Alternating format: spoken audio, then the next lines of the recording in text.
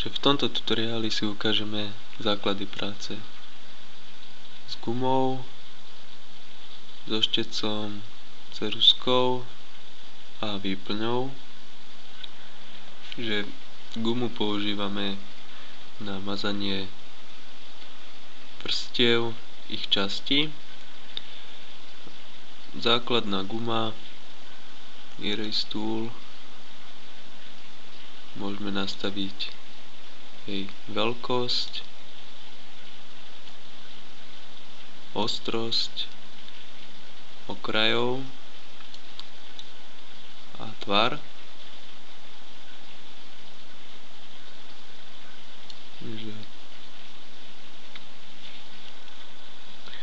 ktorý môžeme vybrať v tejto záložke natvorením kolekcie sa nám načítajú rôzne tvary, ktoré sú spoločné aj pre štetce. Čiže ja sa vrátim späť základným štetcom Basic a vlastne kliknutím mážem danú vrstvu, ktorú mám vypratú. Momentálne mám iba jednu, takže mážem iba jednu vrstvu, pod ktorou sa nič nenachádza, takže sa mi zobrazuje táto vymazaná časť ako priehľadná. Takže teraz zmením ostrosť okrajov gumy, že keď ju úplne znížim, tak vidíme ten rozdiel že ten prechod je taký plynulý. Ďalej, ak mám na danej vrstve použitý taký výber takúto časť a použitím gumy. Vlastne gumujem iba v danom výbere.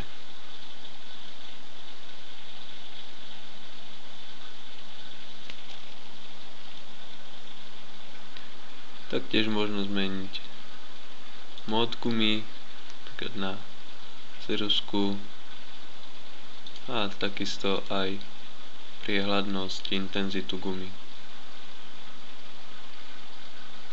Takže ak by som to dal na jednotku, by sa mi zgumovalo iba 1% daných farieb, že by to bolo viac menej neviditeľné. Vidíme iba minimálnu jemnosť gumovania. Ďalší spôsob gumovania je pomocou Magic Erase Tool, že si volím hlavne toleranciu, je to niečo podobné ako Magic Pen Tool, kde vlastne danú plochu môžem vymazať.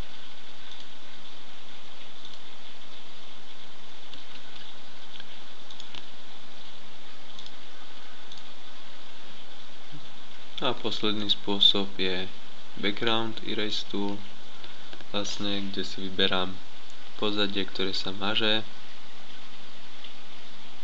a znovu v určitej tolerancii dám iné farby nemaže alebo iba minimálne.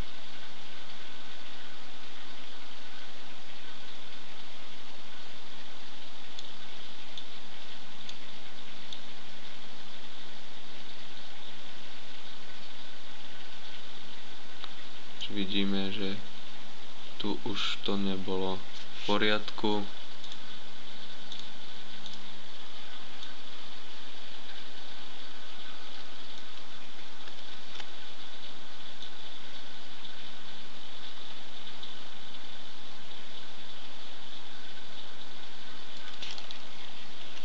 Taktiež takýto spôsob môžeme použiť pri vlasoch, keď chceme pri nich zmazať pozadie.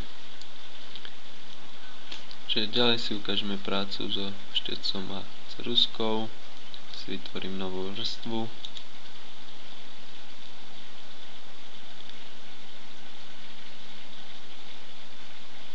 Tu sa nachádzajú nástroje pre štetec cerusku, takže použijem najprv cerusku, sa priblížim.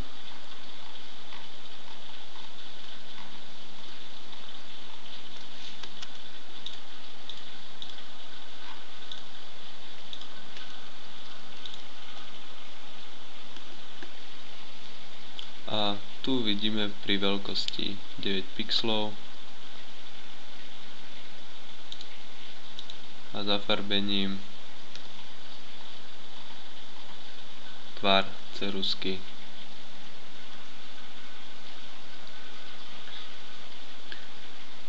Takže má ostré hrany. Je tu žiadny prechod medzi pixlami. Pričom ak použijem štetec Volím si veľkosť taktiež 9 pixelov. Použijem tvrdý. Kliknem raz, tak vidíme, že už tu je mierny prechod.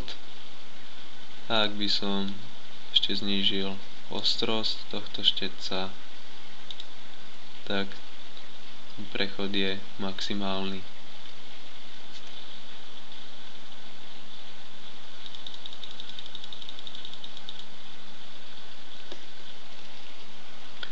Taktiež možno nastaviť intenzitu, priehľadnosť, či cerusky alebo štetca.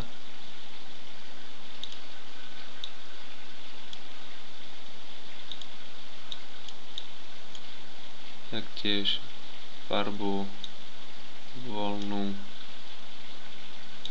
a vlastne keď som znížil priehľadnosť tak jemné prekrytie zvýšim, tak to už úplne prekrie 100%.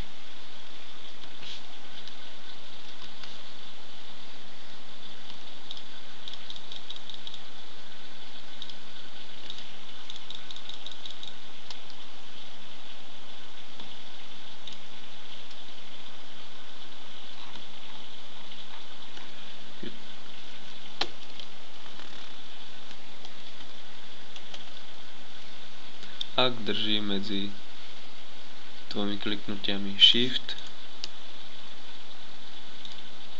tak tento ťah mi spojí priamo.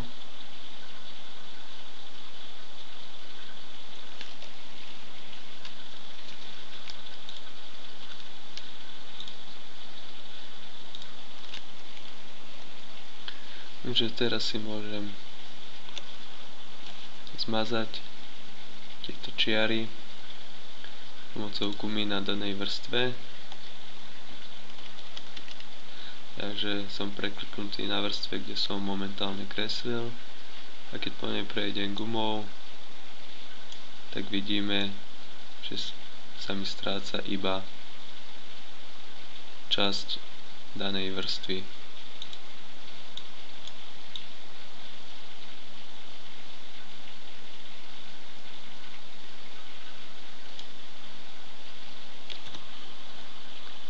Taktiež, ak chcem kresliť iný tvar, tak mám tu možnosť si rozbaliť paletu a vybrať si kolekciu štetcov. Takisto tieto kolekcie sa dajú načítať. Z internetu sa dajú stiahnuť rôzne druhy štetcov.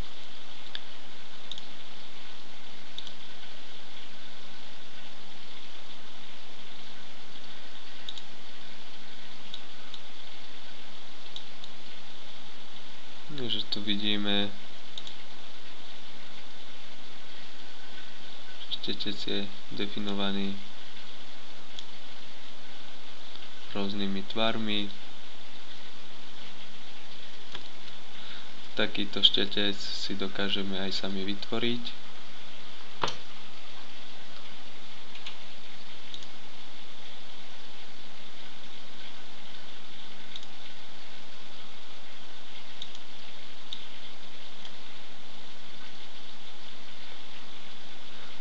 Tak, že máme nejaký obrázok, ktorý si dáme do bielo-čierneho formátu. Takže ja si upravím tú moju časť.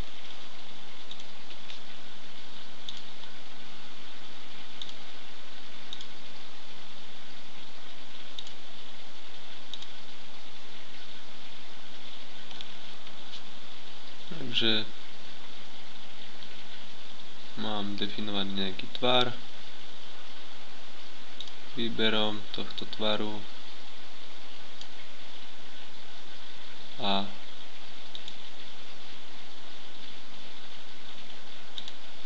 ešte prepnem do vrstvy.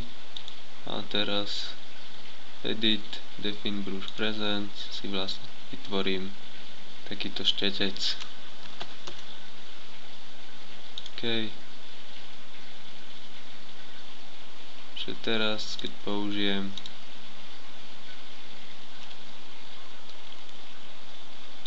Štetec, nachádza sa mi v danej palete.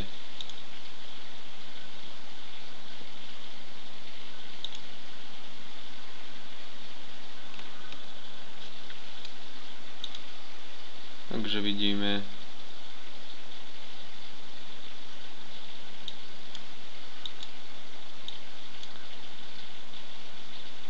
ako jednoduchý si dokážeme vytvoriť vlastný štetec. Isto príhľadnej časti zostávajú príhľadné šťastí aj na danom štetci.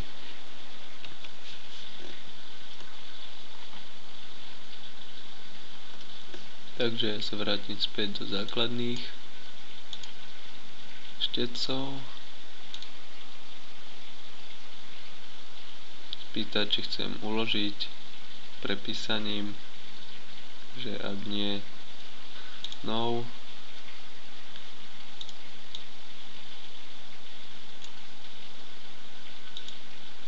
A pri týchto štecoch si môžeme uložiť ukázať ďalšie nastavenia otvorením okna brúž kde vlastne môžeme definovať správanie tvaru štetca.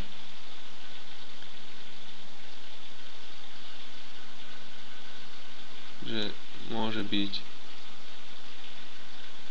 rozmestnené v určitých intervaloch.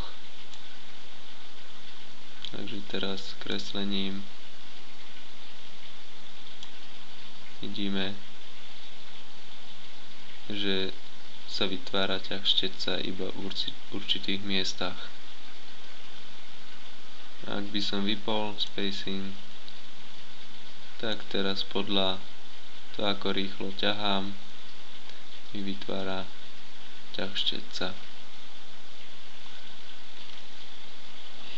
Takisto možno natočiť tento vzor, ale pri kruhu je to nepodstatné. Ďalej, Shape Dynamic si môžeme mať kontrolu nad deformáciami tvaru štetca, takže tu vidíme, že sa že rôzne sploštiť.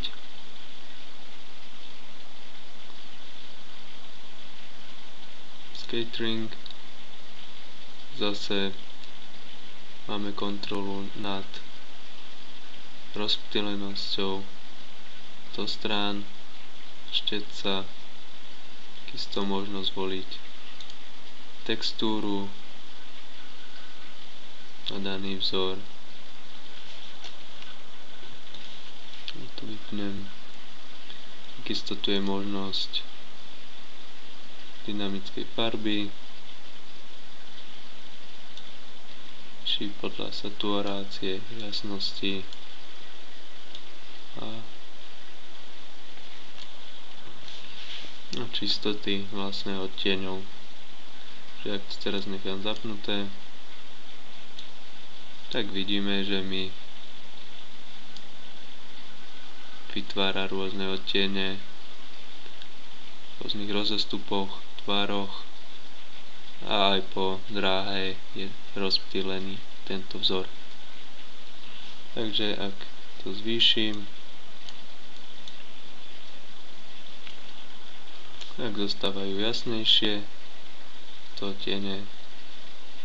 A chcem pridať väčší rozsah farieb pridám hue.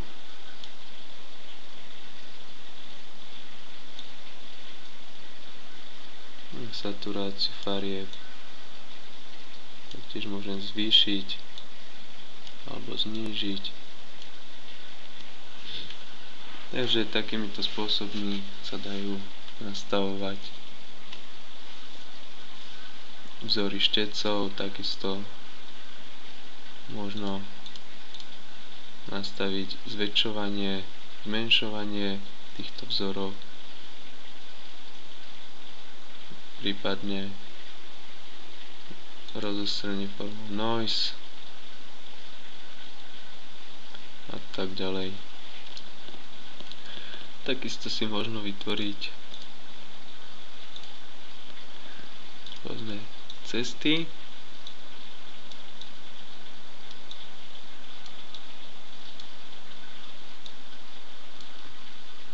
ktoré možno vyťahnuť napríklad štecom, padne ceruskou, tým, že tu vec pravím a stroke, beriem si nástroj, ktorý už musí mať predom nastavený, potvrdím OK, vidíme, že sa mi daná cesta vyťahla. Ďalej je tu možnosť tvorby výplne alebo prechodu farieb.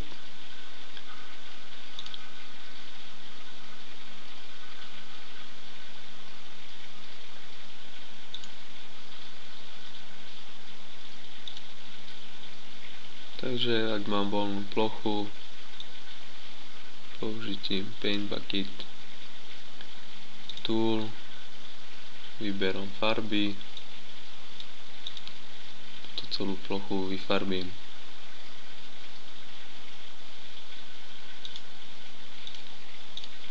Ak by som mal tvorený výber, vytvorím si novú vrstvu, znovu použijem Paint Bucket vyfarbím to, tak sa mi vyfarbil iba daný výber.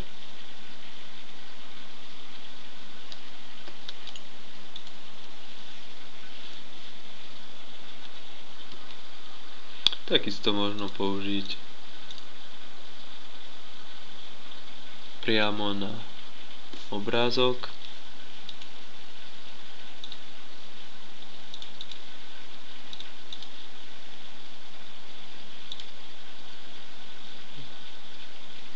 Podľa toho, ako má nastavenú toleranciu, či to má byť spojité alebo nie.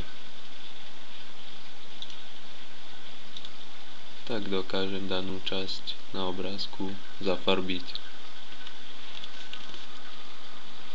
Taktiež si volím, chcem poprednú farbu, zadnú, to mod, to priehľadnosť tejto farby môžem znížiť, zvýšiť, takisto ako pri štecoch, gume a podobne.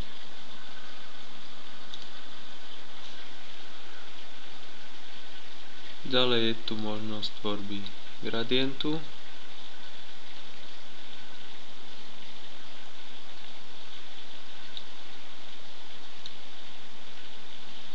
Kde vlastne máme už určité gradienty preddefinované na výber. Takisto spôsob vykreslenia gradientu. Znovu mod typu priehľadnosť.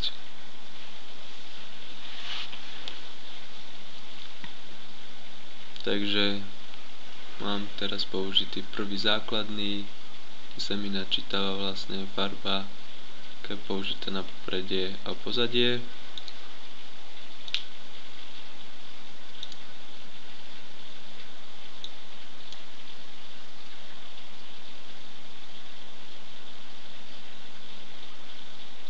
A ak by som teraz použil na tento obrázok, tak mi ho komplet celý prefarbí tým, že zadám začiatočný bod, kde začína jedna farba, druhý bod je druhá. Že takto je vytvorený jednoduchý prechod dvoch farieb. Lineárny, ak by som chcel z jedného bodu.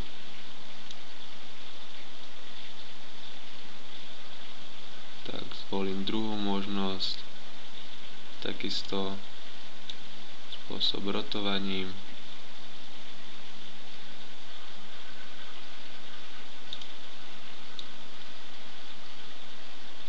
prípadne že sa jedna nachádza. V strede. A ešte takým štvorcovým spôsobom.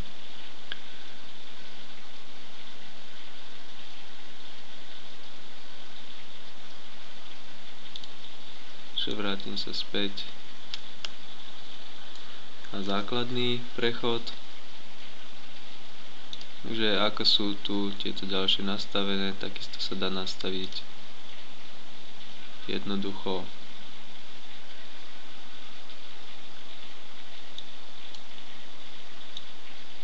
aj tento gradient tým, že príklad môžem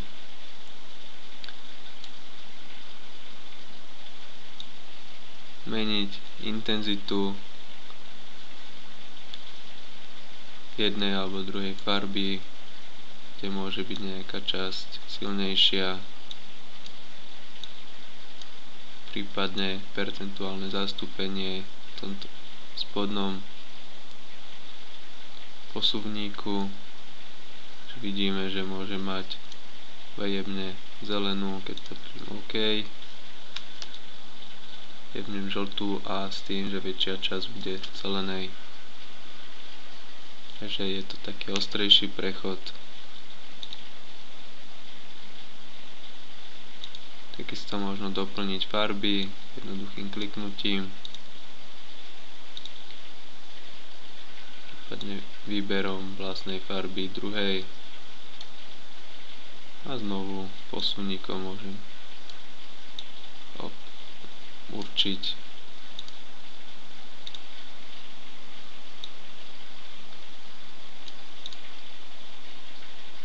Intenzitu buď jednej alebo druhej farby takže ak chcem presne pol na pol si zvolím 50%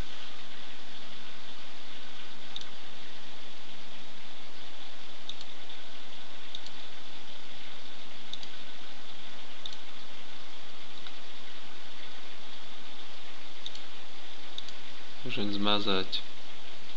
Takisto si môžem tento gradient uložiť. OK.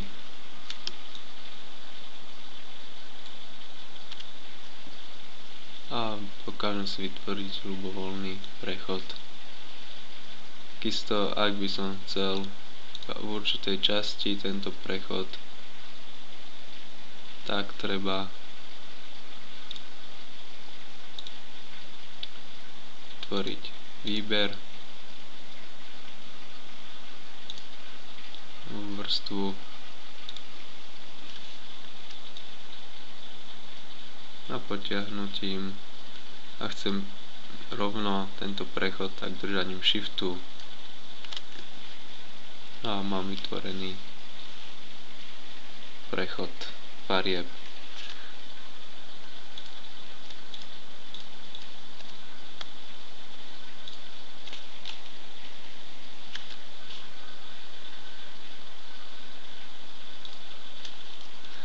že teraz si vytvorím masku.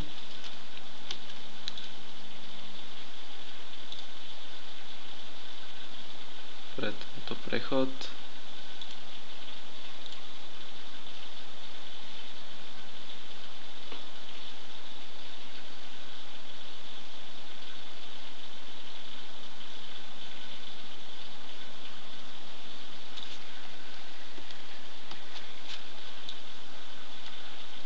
masky môžem presúvať.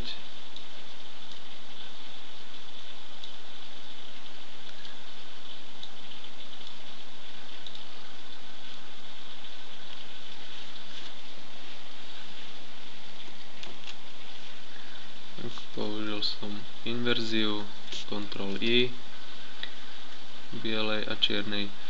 A teraz chcem, aby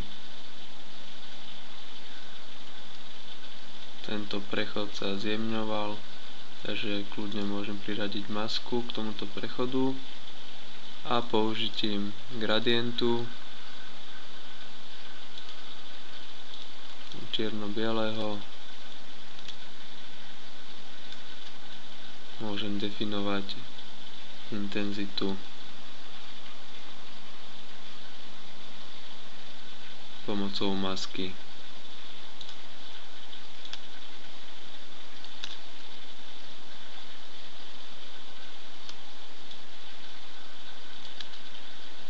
Takže vidíme,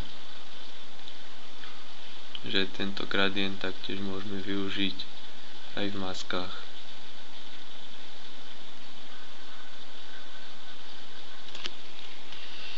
Takže napríklad aj na začernenie rohov, netting môžem použiť pomocou farby maskou a aplikovaním prechodu na masku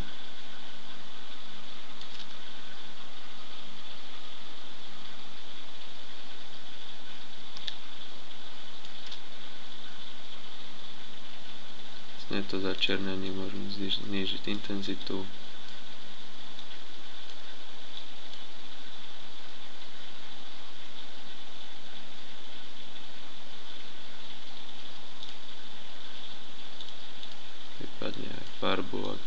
Prípadne